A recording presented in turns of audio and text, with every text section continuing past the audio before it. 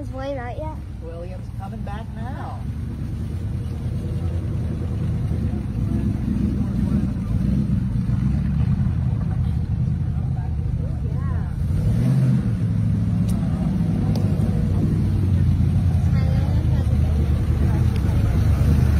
Now, that